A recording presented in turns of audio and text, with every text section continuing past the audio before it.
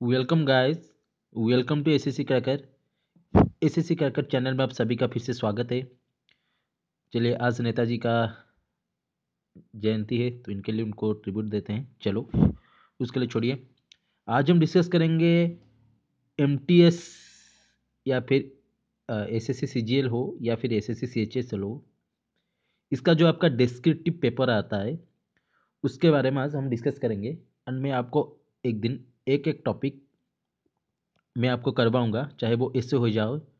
And आपको पता है कौन सा कौन सा टॉपिक आता है ऐसे में ऐसे में आपका, जैसे आपका ब्लैक मनी हो गया डीमोनेटाइजेशन हो गया, या फिर कुछ गवर्नमेंट पॉलिसीज़ हो गया, इसके बारे में ऐसे सी गारंटी आपको एक क्वेश्चन तो ऐसे में आ जाएगा।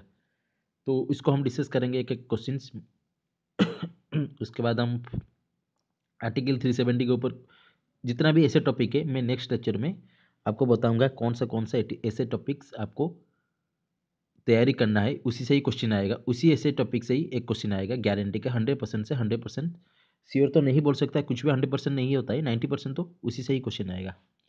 आज हम डिस्कस करेंगे फॉर्मल लेटर के बारे में, जो डिस्क्रिप्टिव पेपर आता है, उसके बारे में आज हम डिस्कस करेंगे। एंड हम कुछ लेटर भी प्रैक्टिस करेंगे। कल से फॉर्मल हो गया इनफॉर्मल हो गया, ऐसे भी कुछ इसमें प्रैक्टिस करेंगे।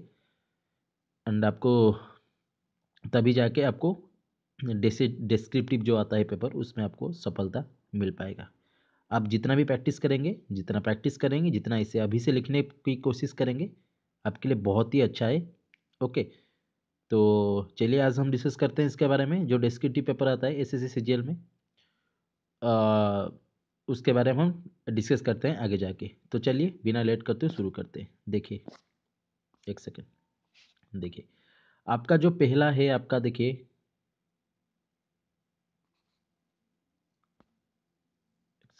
यस देखिए आपका जो पहला है आपका एग्ज़ाम देख लीजिए आपका जो पेन उठा देते हैं। या फिर blue colour yes exam pattern देख लीजिए, आपका जो एग्ज़ाम पैटर्न है वो क्या है? ऑप्शन आपका क्या है? हिंदी, इंग्लिश में मिलेगा। पिछले 2016 में आपका क्या हुआ था? आपको पता है। जो ऑप्शन आपका हिंदी यहाँ पे आपको जो स्लाइड मिलेगा या जो सीट मिलेगा आपको सॉरी सीट जो मिलेगा, उसमें उसमें आपको ऑप्शन टिक करना को टिक करने के लिए बोलेगा, जैसे आपको हिंदी हो गया इंग्लिश हो गया, आपको हिंदी इंग्लिश में टिक करने के बाद वहाँ पे आपको लिखना है। इसी वजह से 2016 का बहुत सारे बच्चे का जो अच्छे अच्छे मार्क भी टायर टू में लाए थे, उनका सिलेक्ट नहीं हो पाए। तो उनके लिए बहुत ही अफसोस है। तो चलिए 2017 में जो भी सिलेक्ट नहीं हुए 2018 के लिए मेहनत करना शुरू कर दीजिए। आपको सफलता गारंटी मिलेगा। ओके एक साल तक सब छोड़ दीजिए। उसके बाद आपको पता है पेन पेपर मोड होता है, आपको पेपर मिलेगा, उसमें आपको लिखना होता है। एंड यहाँ ए होता है आपका क्वालिफाइंग नेचर होता है एंड आपको थर्टी थ्री परसेंट भी लाना ही होगा आपको अगर क्वालिफाई करना है। हंड्रेड से थर्टी थ्री मार्क तो आपको लाना ही पड़ेगा।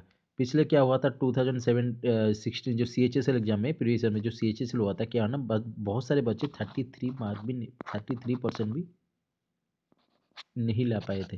तो इसीलिए उनका सिलेक्शन रुक गया था। तो नेक्स्ट देखिए। एक सेकेंड सॉरी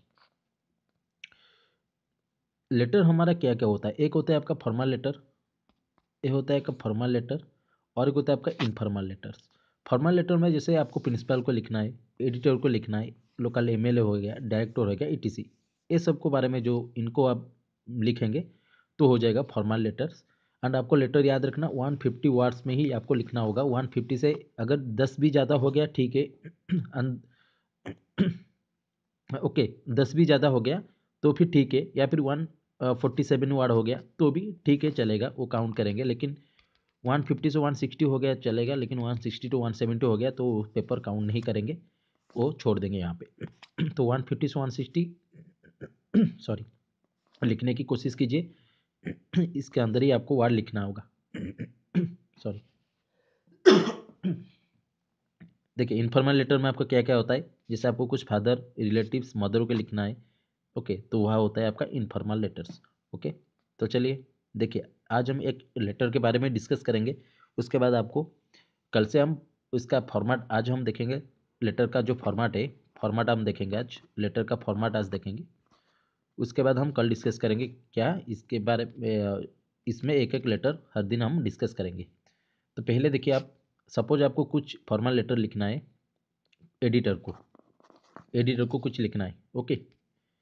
जैसे न्यूज़पेपर एडिटर हो गया, या फिर कोई भी एडिटर को आप लिखना है तो ए बी सी सब आप कैसे स्टार्ट करेंगे? पहले में आ जाएगा आपका सेंडर एड्रेस। याद रखना, पहले में जो आएगा आपका सेंडर एड्रेस। जैसे A B C colony A B C city okay उसके बाद थोड़ा स्पेस दे के यहाँ पे डेट लिखेंगे। कौन सा डेट में आप स्टार्ट किए थे? जो डेट यहाँ पे लिखेंगे मेंशन करेंगे। उसके बाद देखिए to the editor S Y Z colony S Y Z यहाँ पे पिन दे सकते हैं, या फिर कॉलोनी का एड्रेस या फिर पिन कोड जो देना चाहें, दे सकते हैं। ए ए होगा आपका receiver receiver address okay receiver address यहाँ पे पिन आपको देना होगा, क्योंकि ये रिसीवर एड्रेस है। ओके, ये सेंडर एड्रेस है, ये आपका रिसीवर एड्रेस है। उसके बाद देखिए छोटा छोड़ के देखेंगे respected Saran madam respected Saran madam उसके बाद थोड़ा छोड़ के यहाँ पे बॉडी पार्ट लिखेंगे, ओके। रिस्पेक्टेड सारन मैडम यहाँ पे कमा देंगे यहाँ पे बॉडी पार्ट लिखेंगे। बॉडी पार्ट में हम क्या क्या लिखेंगे? बॉडी पार्ट में फ़र्स्ट लिखेंगे, उसके फ़र्स्ट पैराग्राफ में इंट्रोडक्शन लिखेंगे, उसके बाद मेन पार्ट में आ जाएँगे, उसके बाद लास्ट में कंक्लूजन लिखेंगे, ओके। उसके बाद आप thank you thanking you yours sincerely okay. ये लिखेंगे, या फिर या फिर ईयर फेथफुली सेंसियरली जो लिखना है लिखेंगे।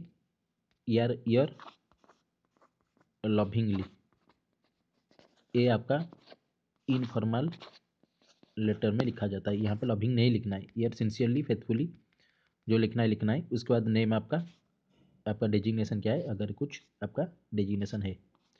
ओके ये आपका फॉर्मल शैली है। A B C colony A B C city उसके बाद डेट उसके बाद sender address sorry receiver address यहाँ पे रिस्पेक्टेड सारन मैडम उसके बाद यहाँ पे देखिए बॉडी पार्ट लिखना है आपको। उसके बाद बॉडी पार्ट में पहले इंट्रोडक्शन उसके बाद मेन पार्ट उसके बाद कंक्लूजन उसके बाद थैंकिंग यू ये सिंसियरली आपका नेम एंड डेजिग्नेशन तो कल से हम स्टार्ट करेंगे। तो कल से हम स्टार्ट करेंगे एक लेटर एंड एक एसे एक letter one letter and one essay हर दिन हम स्टार्ट करेंगे। यहाँ पे लिख के मैं आपको दूँगा। आप आपको कॉपी कर लेना। उसी टाइप से आपको लिखना है। तो थैंक्स, लाइक एंड शेयर। अगर आपको अच्छा लगता है वीडियो तो लाइक एंड शेयर कर दीजिए।